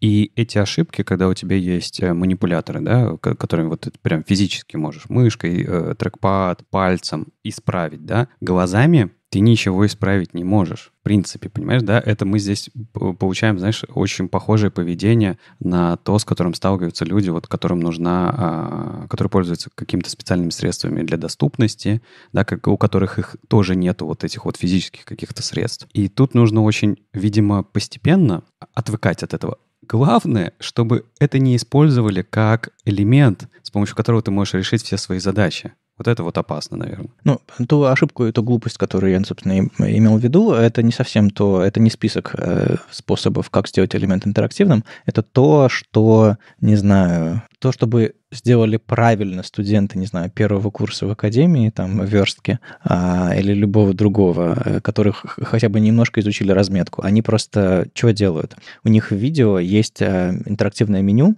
5 зеленых коробочек, расположенных вертикально. Внутри текст, ссылки. И у них э, текст завернут в ссылку. А стили для этих интерактивных коробочек э, на элементах ли, то есть там бордер, паддинг, бэкграунд и так далее. И они говорят, ну видите, вот когда мы наводим э, взглядом на вот эти вот ссылочки, подсвечиваются только ссылочки, а не сами э, пункты э, меню. И они говорят, давайте мы это исправим и с улыбкой оборачивают э, лишечки в ссылки то есть они просто меняют местами теги. Угу. и говорят, смотрите, а вот теперь, в общем, это абсолютно фейспалм, они э, выносят ссылку на уровень, уровень UL, это как бы, ну, потенциально проблематично, это против спеки, и так вообще нельзя, нельзя вкладывать типа ссылки в, прямо в, в UL или ли, ну, блин, так нельзя. А, они бы могли то же самое сказать. А давайте мы переместим стили с ссылки на, э, вернее, с лишечки на ссылку, и все. Но они переставили теги и такие, смотрите, как мы все исправили. В общем, не зачет, ребят, а переходите на пересдачу, так нельзя.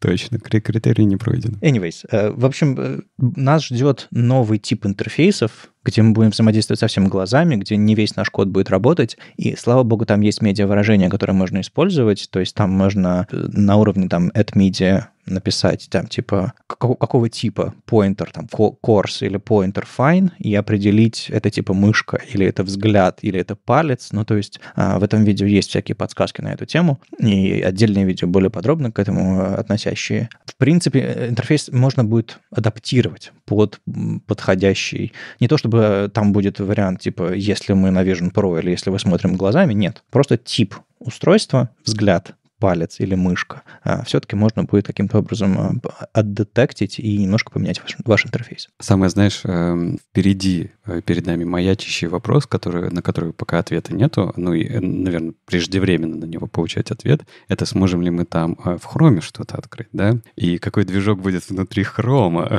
внутри этой всей штуки. Ну ладно, это пока рано, еще есть кучу времени до этого момента. Поэтому давайте, наверное, посмотрим, что сделал сделала Mozilla э, в своем Developer Network. Хотя, причем тут Mozilla, да, MDN уже не только Mozilla, и ребята там рассказали о том, как они завезли Playground для всех своих статей, чтобы можно было пощелкать все примерчики.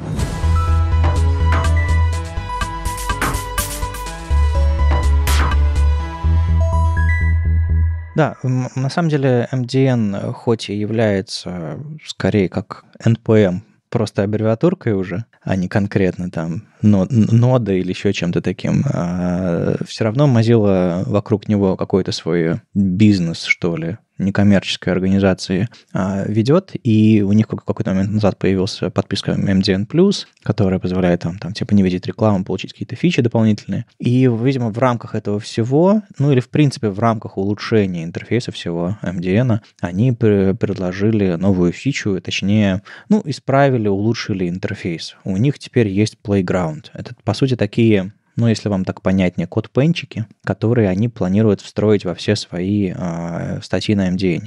То есть прямо сейчас э, у них иногда а, не могу сказать, что во всех, есть интерактивные примеры. Иногда можно просто запустить какой-то код и проверить, как он, как он работает. Иногда там что-то можно отредактировать. В общем, было какое-то количество... Они не используют, по-моему, CodePen, они используют свои решения. Иногда это были просто, просто демки, где все рендерилось, иногда эти были демки, где можно было что-то передачить, но не очень удобно. А они, кажется, решили все это объединить в одно решение, назвали это MDN Playground, и прямо сейчас э, раскатывают его. Что это такое? По сути, это способ э, внешне лежащую демку, уж там на MDN или лежит на GitHub где-нибудь еще, ну, то есть в их системе, то есть это все-таки не будет хранить как-то централизованно у себя, а взять ее и запустить в, в удобном месте. Как минимум, а, всем, кто читает MDN, будет теперь удобно открыть и поредактировать э, пример, скопировать его, э, запустить, что-то там поменять. Но если вы залогинены, у вас появится возможность а, его э, сделать ремикс этой демки, то есть, по сути, взять, поправить ее и сохранить свою версию. То есть можно будет там сгенерировать ссылку на этот пример.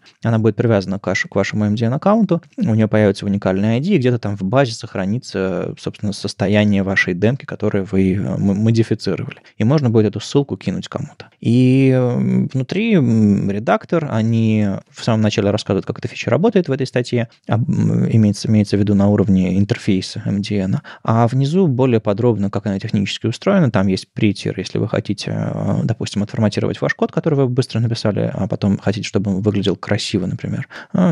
Притер не всегда делает красиво, он делает однообразно. Давайте договоримся на этом. Там, собственно, они рассказывают, где, какой редактор они используют, как это все технически устроено. Интересно. Они хотели использовать э, этот Monaco, по-моему, а, но решили в итоге пойти с код Mirror. Ну, в общем, интересно интересное какое-то техническое а, разбирательство, как это все устроено, есть в этой статье тоже. Главное, что теперь в демках можно будет поиграть плюс-минус удобно а, и сделать какую-то вариацию. Я не вижу пока это каким-то прям конкурентом CodePen, но по моим ощущениям он работает лучше, чем CodePen. Когда вы редактируете на лету, он сразу же обновляет ваш HTML, CSS, он не прокидывает его через сервер, он не пытается вам периодически кинуть э, экраны «Вы робот, объяснитесь» или еще что-то такое. Ну, в общем, более легкая и более понятная система. Мне, честно говоря, она нравится. Я буду рад, если они сделают на основе этого какой-то код пен, который эм, более адекватный и легкий, потому что такого решения не хватает. А пока это просто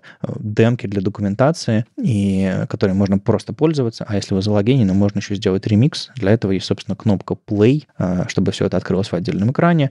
Прекрасно работает на мобильных, в отличие от CodePen, который иногда очень сомнительно там работает. И вот я на телефоне открыл все эти штуки, потыкал, поредактировал. Отлично. А, я не уверен, насколько это будет, насколько это реалистично использовать где-то за пределами. Они дают возможность встроить это, типа, скопировать ссылку на Markdown, еще куда-то встроить это. В статьях это, наверное, можно использовать. Возможно. А, но надо, надо разбираться. А пока, как минимум, для MDN будет удобно. Хочу просто добавить, как э, человек, который много таких штук писал. Вообще очень странно, что они добавили вот в своем как я бы сказал, назвал это MVP, потому что тут такое очень а, обрезанное все, и это с CatPen мне нечего сравнивать, потому что ConPen просто чисто по своей функциональности совершенно друг другая история. А, вот вообще не, не рядом стоит. А странно, что они формат в первую очередь запилили, учитывая, что это в первую очередь плейграунд э, тех вещей, про документацию которых они пишут. Это не история про то, что ты здесь будешь писать код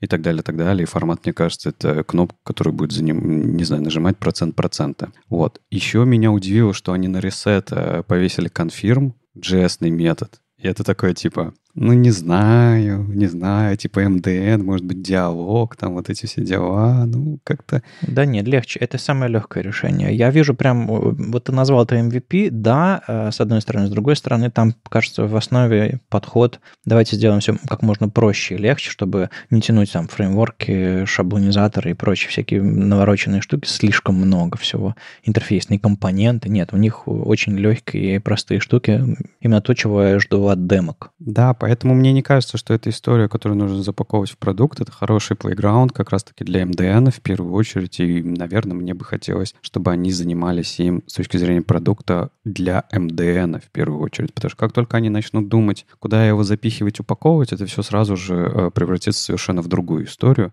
И она уже MDN не очень будет подходить. Ну, а так э, можно будет читать MDN удобнее, поскольку самый удобный способ что-то понять, это открыть это в редакторе и тут же поиграть с этим, разобраться, как все на самом деле работает. У них уже были такие демки, а теперь станет еще удобнее. Да, ну и э, вот мы говорили в самом-самом начале про наш э, этот самый как-то закрытый чат, да, для тех, кто поддерживает нас. Там был отличный мем, просто шикарный мем, про который я поржал. Это use using, using using, use using, using using.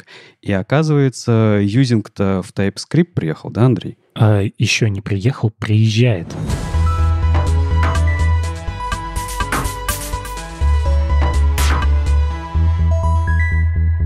У нас вот недавно вышел TypeScript 5.1, по-моему, 30 мая. И теперь готовится TypeScript 5.2, который выйдет 22 э, августа, если все у них по планам пойдет. Как обычно, в нем довольно много всего, и можно привыкать постепенно к вещам, которые туда приедут. И, и как раз про юзинг. Мэтт Подкок написал статью, что это за такое новое слово юзинг, которое там появляется.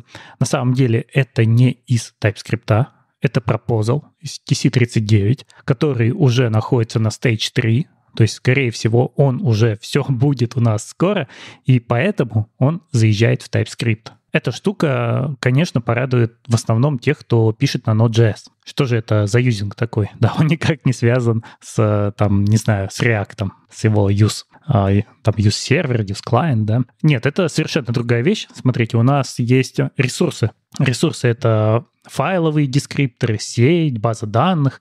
Вот когда мы с ними работаем на ноде, как мы сейчас это работаем? Мы обращаемся, например, создаем connection к базе данных, оборачиваем это все в какой-нибудь try, а в финале, когда нам это уже не нужно, мы этот connection должны уничтожить. Иначе мы просто переполним количество коннекшенов. И это все превращается в такие вот длинные цепочки кода. Где-то мы сначала открыли файл, или подцепились к базе данных, или начали слушать сеть, а где-то дальше должны не забыть завершить эту работу. И вот приезжает новый пропозал, который позволяет это сделать намного красивее. Мы сразу описываем через using некий объект, который отдает нам подключение к нужному ресурсу, и внутри этого объекта есть сам ресурс, например, connection, и специальный символ. Например, символ, у них два есть, символ dispose и символ async dispose. И этот символ вызывается в тот момент, когда мы выйдем вот из этого скопа, где мы использовали наш connection. То есть наша функция закончилась, там garbage коллектор понимает, вот это все можно почистить, и заодно вызывается символ, и мы можем по нему закрыть connection. То есть мы вот начали писать какую-то функцию, которая читает файл, и сказали, мы используем хендлер до файла. Как только функция завершила работу, автоматически все это закроется. То есть такой декларативный способ указать, что мне это больше не нужно. Да, да, мы прям декларативно сразу описываем, как нам это все закрыть, как нам почистить этот хендлер, и это просто в разы уменьшает количество кода, и он становится понятнее. Мы видим все наши ресурсы, которые мы использовали, описаны через юзинг, и все, не забываем описывать для них, что сделать, когда он нам больше не нужен. Ну как, э, если ты знаешь, как эта штука работает, если ты видишь ее первый раз, для тебя будет не очевидно, что случится закрытие, отстрел и вообще вот это. Да-да, как только вышли из замыкания, вызовется вот этот символ функции, который висит на этом символе. То есть у нас есть либо dispose, который синхронный, либо async dispose, который асинхронный. И, и, и все. Вот так мы сможем писать уже в августе. А насколько это очевидно? Вот, собственно, вопрос. Я, я вот смотрю на примеры кода и, и пытаюсь понять, читая код, будет понятно, что это произойдет? Или, или все-таки нужно потом в, в доке залезть и, и понять, что это такое вообще, когда ты первый раз это увидишь. Когда ты первый раз увидишь, конечно, тебе придется понять, что здесь за новое слово using. Такого не было в JavaScript. Await, using, э, дальше какой-нибудь объект равно get connection. Откуда оно появилось? Но это намного более ясное поведение, чем ты видишь что здесь connection открылся, и начинаешь искать по всему коду, а где же, где же мы его закроем? А не забыли ли мы это? Я, я двумя руками за такую декларативность. Вопрос в том, что, чтобы сюрпризов не было. Ну, я тут хочу тоже добавить. То есть вот если смотреть про соединение с базой данных, э, вроде как это идеальная история, да, для использования этого кейворда. Потому что, типа, закрывать соединение э, очень надо, иначе будет плохо. Вот. Но даже в том э, примере кода, который есть сейчас вот э, в этой статье, то, то, как мы закрываем его, не используя юзинг, оно же легче читается. Ну, ты получаешь лишний отступ, у тебя все это заворачивается в какой-то большой трай, где в конце какой-то файнале, где ты его закроешь. А так тебе нужно описывать вот это вот э, поведение где-то все равно, которое как бы а, сейчас пока что, ну, давай согласимся, да, пока мы к, к этому не привыкли, это выглядит как не, некоторая магическая коробка. Вот, да, оно типа по итогу работает хорошо, да, но есть некоторое вот это вот дополнительное знание магическое, которое тебе позволяет с этим работать. Да, но представь, что ты работаешь в какой-нибудь платформенной команде, угу. и к тебе разработчик пониже уровнем приходит и говорит, как мне получить connection в базе данных, ты говоришь, вот, используй эту функцию, мы тебе написали. Он ее подключил, и у него все прекрасно. Не, это хороший кейс. Да, это, это прям в команде хорошо. Да, если он просто connection создал, да, то ты уже должен посмотреть у него на пиаре, а правильно ли он дальше с этим коннекшеном работает, не забыл ли он его закрыть. Здесь это все исчезает, автоматически делается за счет э, вот этого нового подхода. Ну и когда у нас всякие там, э, про которые примеры Андрей говорил, async await появились, это тоже поначалу вызывало удивление, когда ты код читал. Что тут, что тут происходит? Это, ну, все-таки нужно было разобраться. Я полагаю, это как бы следующий уровень. Да, да, да. Это и самое важное, что TypeScript пытается сейчас не завозить никакой странной магии, никакого странного синтаксиса. Они вот когда-то сделали там namespace или декораторы, обожглись на этом и решили, что мы все-таки остаемся TypeScript и минимизируем странные слова. Это все равно должен быть... А, то есть JavaScript. JavaScript они остаются. И, конечно, они бы не стали завозить никакой юзинг, если бы он не появился в пропозале, который уже на Stage 3, и мы можем ему доверять. Слушай, а как ты думаешь, Андрей, когда это завезут не в TS, а в JS, как быстро будут реагировать на это вот всякие разные библиотеки, которые занимаются не ORM-ками к базам данных, и, не знаю, просто коннекторы к базам данных? Им же по-хорошему это имплементировать все у себя надо. Ну вот из хорошего это чаще нужно в Node.js, поэтому у нас нет привязки к тому, что у нас есть там миллион браузеров со старыми версиями, с новыми версиями. Угу. Просто в какой-то момент они скажут, мы поддерживаем уже там ноду 20 а значит, э, пишем вот это все вот в таком стиле. А так пока, конечно, придется думать, что ты не сможешь это использовать, пока у тебя жива та нода, на которой не будет работать этот синтаксис. Понятно, с TypeScript будет, он там это все транспилирует. А вот с JS нужно будет дождаться, пока она станет... Э, как только она станет LTS, как только умрет та версия, которая не поддерживает, все и побегут переписывать. Вот как то, что сегодня мы тот же самый Nest смотрели. Ведь как оно чаще всего бывает? Ждут, ждут, ждут, пока не смогут отстрелить поддержку Node.js. Выпускают мажор, где используют новый синтаксис и деприкейтят использование старых Node.js. Это то счастье, которое недоступно в браузере, оно есть только в мире Node.js. Ну, тем не менее, это, это растянется на годы. Точно так же, как и в браузерах. Ну, потому что, смотрите, после, как, когда это, во-первых, давай так, а, это в, если мы не говорим про TypeScript, а в стандарте э, JS это может появиться только в следующем году, uh-huh. то есть это ES 2024. В ноде это может появиться только, не знаю, годом позже, полгодом позже. Ну, как только оно в V8 заедет? Да, перейти на новый LTS, это как бы под, э, еще немножко подожди. Поддержать это в фреймворках, библиотеках, в, в которых это может понадобиться, еще немножко подожди. Вот у нас 2-3 года. Да, да, 2-3 года. Как будто бы в браузерах это происходит быстрее. Ну, понятно, оно уже доступно в Core.js. Угу. Не, ну Core.js, смотри, это же ты, это полифилами и все остальное, ты не можешь это, ну, ты можешь это в библиотеку запихнуть, и ты можешь это в своей команде реализовать, да, в большой инженерной, где у тебя вот это распределено. Это-то да, но чисто для сообщества это, конечно, долго будет. Но ты говоришь, браузеры быстрее, это если ты живешь всегда там... А мы только вечно зеленый поддерживаем на последних двух версиях. Ну да. Если у тебя крупный проект, в браузере это тоже доезжает вечность. Ну да. Ты не можешь э, сказать все, люди со старым браузером, мы про вас забыли. А с нодой мы можем так сказать. Так и делают, что все мы не поддерживаем полностью, наша вот эта вот штука, она не будет работать на вашей старой ноде. Все.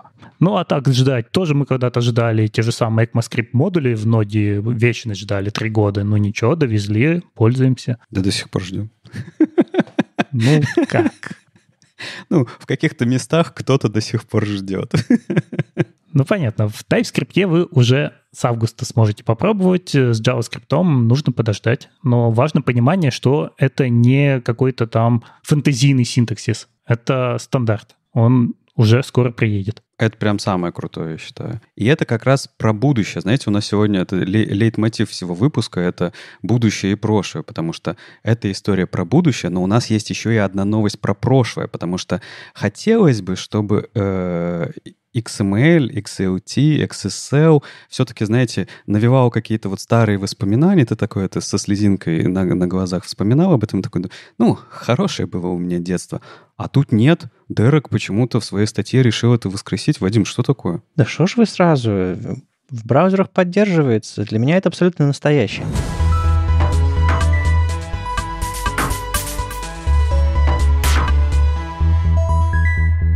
Короче, начнем с вопроса. Ребята, кто из вас RSS пользуется? В смысле, прям вот читает RSS-фид?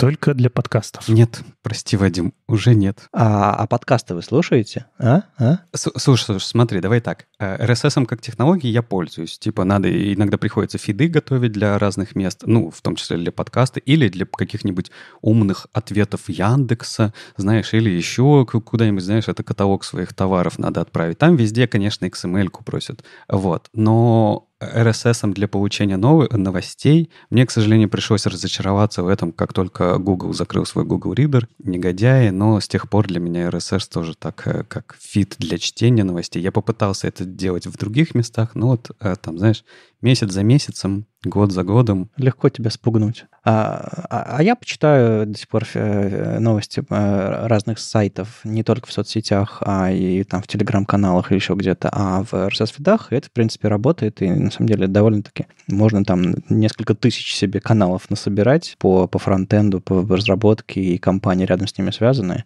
А, ссылочку дадим. Короче, вы можете себе на сайт, внимание, если вы не знали, положить XML-файл, куда-нибудь там в корень или еще куда-нибудь, э, назвать его fit.xml, а, или в папочку положить, как вам удобно. Если вы засунете сюда содержимое статей или там превьюшки статей, которые у вас на сайте, или там новостей, или еще чего-то, то а, это все можно будет прокинуть в специальные RSS-читалки, которые распарсят это и покажут вам эти новости. То есть вы будете читать контент без дизайна вашего сайта. А, но есть проблема с интерфейсом всего этого. То есть для многих, я думаю, с RSS-фидами была проблема, что вы видите ссылку RSS или feed, или там, я не знаю, Atom, еще что-нибудь такое на сайте, такой думаете, ой, прикольно, что это? Нажимаете и видите, как у вас в браузере, прямо в браузере открывается XML-файл. А что такое XML-файл? Ну, в зависимости от браузера он рендерится как, ну, в общем, месиво из кода иногда, иногда э, какие-то структурные штучки, там, какие-то информации. Ну, то есть, ну, исходник, как исходник сайта вы смотрите. Это всегда был довольно плохой опыт. Э, иногда на некоторых платформах э, встроенные там читалки RSS там умеют перехватывать это все, и браузер редиректит на встроенную читалку, если там в правильном формате, с правильными заголовками все отдано или там не знаю, настроено просто это. Это всегда было проблемой. И тут Дерек Кей говорит, ребят, у нас во всех браузерах реально во всех браузерах и очень-очень давно, есть такая технология. XSL называется. Что такое XSL? Я, честно говоря, уже забыл, как она расшифровывается. Ну, Style Language, XML Style Language, по-моему. XML Style Language, действительно, да. А, а еще есть э, э, XSLT, XML Style Language Transformations. В чем суть? Том, что, во-первых, многие в этом чате, в этом эпизоде работали с этой технологией много лет назад. В частности, Яндекс большую ставку делал на XSL, а, как на технологию для работы там, с данными. Там, там бэкэнды отдавали XML, а мы их там трансформировали и так далее, и так далее. Это было там, не знаю, 2009 год, в мой, ну, в личный мой опыт, там, 2008. Знаешь, я еще помню, статьи на Хабре были где-то, да, за восьмой или за седьмой год. Посмотрите на XSL, это будущее. Вот так мы будем сайты через 10 лет отдавать все. Ну, ты еще посмотри на книжки столетней давности про будущее и так далее. Да, будущее не спрашивает нашего мнения, когда, когда приходит. Но просто в, как, в какой-то момент, э, в момент э, какого-то XHTML 2.0 свернуло просто в другую сторону. Да. В общем, э, что это такое? Это способ взять XML и трансформировать его в, в другой XML, по сути. А по, по пути добавить э, дополнительную разметку, дополнительные стили и так далее. То есть вы э, в заголовке вашего э, XML-файла, который ваш фид, добавляете ссылку на XML style sheet, и внутри этого на языке, на языке XSL э, вы пишете, что вы, вот такие вот вы э, значения из этого RSS вида получаете, вот так их выводите. Вы можете добавлять дополнительную разметку, не только тот контент, который есть у вас э, в вашем фиде. Вы можете делать трансформацию даже, то есть вы можете, если у вас дата написана в одном формате, вы можете использовать там какой-нибудь XSL value, substring и так далее, и так далее. Сейчас, если кто-то раньше писал на XSL, XSLT сейчас вздрогнули, оглянулись и, возможно, даже испугались немножко, потому что технология абсолютно потеряла свою актуальность прямо сейчас. Может быть, где-то кто-то пишет, но тем не менее. Я тоже писал, для меня это тоже выглядит так очень э, ностальгически. И, по сути, главная задача. Вы не просто э, расковыряли свои воспоминания и всплакнули. Что, что получается? Пользователи, которые зашли, кликнули на ссылку на, на ваш RSS-фид, во-первых, могут получить инструкцию, как им пользоваться, вы можете встроить плашку наверх. Во-вторых, они увидят интерфейс, вы можете просто нафигачить туда полноценный интерфейс вашего сайта, и они смогут прочитать ваши статьи. То есть, не знаю, можно раздел статьи заменить отдать как, э, как фит, но заменить его на вот, вот эту вот э, трансформацию. Ну, то есть это, это дичь, дико звучит, и, наверное, так делать не стоит, но вы сможете а, преодолеть этот барьер между сырым XML и RSS-читалкой очень-очень классно. Ты знаешь, Вадим, в, в этот момент, но мы же разработчики, мы делаем всегда вещи, которые никому не нужны, очень странные, но справляемся с ними, поэтому давайте так сделаем. Что интересно, на сайте, не знаю, BBC News RSS Feed очень просто, но стилизован. То есть они э, попробовали сделать так, чтобы пользователям было понятно и удобно. Они начинает свой RSS-фид с фразы, что это, что это за страница, что она работает. Я не знаю, как она работает, но и так далее, и так далее. То есть есть ссылки, есть возможность разобраться. Мне кажется, это может улучшить, э, не знаю, experience пользователя как минимум. А, ну или если вы никогда не работали с XSL, вы можете побаловаться. А, но я, я, точно, я точно сделаю для своего сайта что-то подобное, потому что, ну, классно же. Ведь когда-то такая идея была что у нас исчезает HTML, а появляются данные в виде XML, чистые данные, и декларативные. Вот ты не сказал, это важная часть, что они декларативные шаблоны, что и усложняло их понимание изначально разработчиками, потому что там достаточно хитро все описывается. И вот из этих двух кусочков у нас браузеры собирают страницу. Вот здесь это же самое и сделано. То есть мы получаем чистые данные из RSS, накладываем на них шаблон, и получаем красивую страницу. И это действительно до сих пор почему-то поддерживается во всех браузерах, сколько этому лет, и вроде бы выпиливать не хотят, хотя технология кажется ну, совершенно непопулярной. Но это веб-платформа, зачем выпиливать? Э, более того, когда мы писали на XSLT, э, это все происходило на бэкэнде. То есть это уже на, на, на бэкэнде трансформации все эти происходили. Никто, браузером, никто браузерной поддержкой не пользовался, потому что э, ну, в браузере поддержка, по-моему, не самых последних версий вот этих всех трансформаций, ну и медленно тоже. А проблема была в том, что не все можно сделать в этом декларативном шаблоне, и переносили это на бэкэнд, чтобы сделать вставки на Lua или на JavaScript, и пере, как-то переформатировать уже данные в более простой, понятный формат. иначе, да, ты мог выплюнуть это все на клиента, но не все там можно было сделать. Слушайте, ну мы сейчас так дойдем до того, что вспомним еще X-формы и добавим туда еще и форму для обратной связи, да? Да нет, э, главное, что э, если все-таки есть на вашем сайте RSS, вы отдаете для поисковиков, для читателей этого всего, для чего угодно. Ну, есть такой формат, это стандарт, это вполне себе э, адекватная вещь.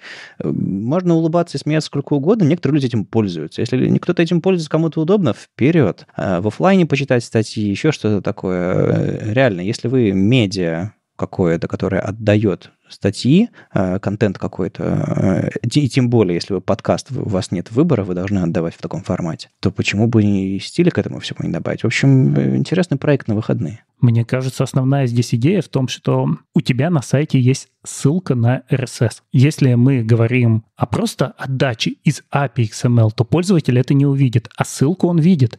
Если человек не знает, что такое RSS, что происходит сейчас? Он кликает на эту ссылку, и ему вываливается что-то непонятное совершенно. Что это? Зачем оно? Куда я попал? Может, у меня там сломалось все? Может, мне плагины какие-то отключить? Это все хакеры, Андрей, хакеры. Да, даже вот, вот классная идея, это не то, что превратить это все в читаемый формат, а просто написать туда красивую плашку, что вот эта штука, она нужна, если у вас есть RSS-ридер. Вот эту штуку сделать легко. И вот эта часть мне больше всего понравилась. Добавляем и все, и снимаем вопросы. Можешь почитать там, можешь поставить ридер и посмотреть, как оно выглядит. Но мне это хочется дойти до абсолюта, просто засунуть туда обычный дизайн своего сайта. Интересно, получится ли. Так может тебе перейти на XSLT шаблоны? Да, может, а?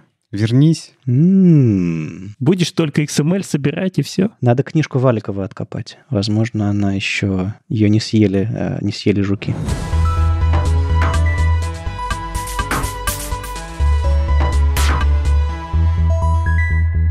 Давайте мы закроем сегодняшний эпизод а, ответом на последний вопрос. А, мы э, на один уже одну реплику озвучили, и, а, и у нас есть еще один вопрос, точнее, тоже, наверное, реплика, но на нее хочется ответить. В общем, вы присылаете вопросы на подкаст webstandards.ru через дефис, и вот, собственно, Дима прислал а, реплику, вопрос. А, раньше в подкасте постоянно обозревали предстоящие события в мире фронтенда, конференции, метапы, раньше даже календарь был. Но сейчас все пропало, не планируете ли это все вернуть назад? Дим, а, да, был такое время, у нас была рубрика в начале каждого эпизода, где мы говорили, вот какие-то события где-то происходят, сами много ездили на конференции и так далее. Но сначала случилась пандемия, и конференции особо не было. Были какие-то онлайны, и мы тоже пытались это все за, за всем этим идти. А потом, потом началась война, и всем стало, всех раскидало, все, всем стало не до этого, и мы, в принципе, подкаст прикрыли на, некоторые, на несколько месяцев. Но когда мы вернулись, мы решили, что формат событий сейчас такую актуальность не потерял. Я не знаю, активных сообществ много. В итоге прямо сейчас репозиторий а, событий а, заархивирован на GitHub. И, по сути, новые события не добавляются, и мы их не обсуждаем, и это пока замороженный проект. У нас э, пока много других, э, гораздо более трагических и очень стрёмных событий происходит. И говорить про конференции, ивенты и все остальное, когда мы все э, разделены по разным сторонам границ, э, и, в общем, все тяжело и, и сложно, как-то как не до этого. Мы говорим про новости глобальные, про нашу ежедневную работу. Про события пока не получается. Я очень надеюсь и очень хочу, чтобы все стало лучше, изменилось, наладилось, и мы снова ездили друг к другу на конференции все. Но пока так не произошло, говорить про события будет странновато. К тому же мы частенько, повторюсь, по разные стороны границ, по разные стороны мнений, взглядов, всего остального. А мы хотим людей не знаю, успокаивать, объединять, помогать им. События здесь пока не работают. А, но мы тоже скучаем, Дим. Вместе с вами скучаем и, и, и ездим на конференции, ходим на метапы, просто узнаем об этом по-другому. А, и, в общем, вам того же желаем. А, профессиональную, профессиональной карьере это все большое влияние оказывает и большую пользу. Именно поэтому мы все это делали раньше. А, повторюсь, надеюсь, продолжим. С вами был 375 выпуск подкаста «Веб-стандарты» и его постоянные ведущие. Мифический фуллстек Андрей Мелехов. Сам по себе Вадим Макеев. Не только менеджер Алексей Симоненко. И дизайнер на CSS Юлия Мяцен. Слушайте нас в любом приложении для подкастов или на ваших любимых платформах. Не забывайте ставить оценки и писать отзывы. Это помогает нам продолжать. Если вам нравится то, что мы делаем, поддержите нас на Патреоне или Бусте. Ждем ваших вопросов на подкаст собакавеб-стандарт.ру. Мы обязательно ответим на самые интересные. Услышимся на следующей неделе. Пока. Пока. Пока. Пока.